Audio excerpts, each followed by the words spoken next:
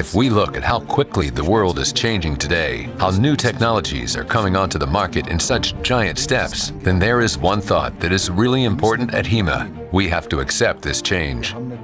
We're really passionate about what we do. We have great technical expertise, so we considered for a long time how we could incorporate all this into one big idea, and we decided to call it SMART.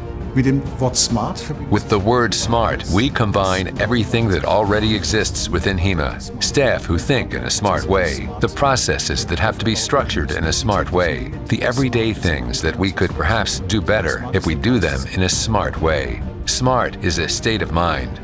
Wenn man sich überlegt, wie viel Daten wir Think about how much data we generate from the control systems that we have already installed. We can use algorithms to turn this data into information that will help us offer a very different service in the future. Or think about engineering, for example, where we can streamline processes. The staff at HIMA are characterized by a fundamental curiosity. This means that we are intrinsically motivated to get safety right. I think this has taken us to exactly where we are now. We're the partner for safety technology worldwide. Die Reise wird äh, dahin gehen, dass wir Ultimately, this journey will progress to where we develop value creation models built around the safety technology that we have. First of all, this will mean that customers enter a different discussion with us, not the discussion about which products and services do you supply, but rather, what can you do for us to solve a problem? das ist smart. That is smart.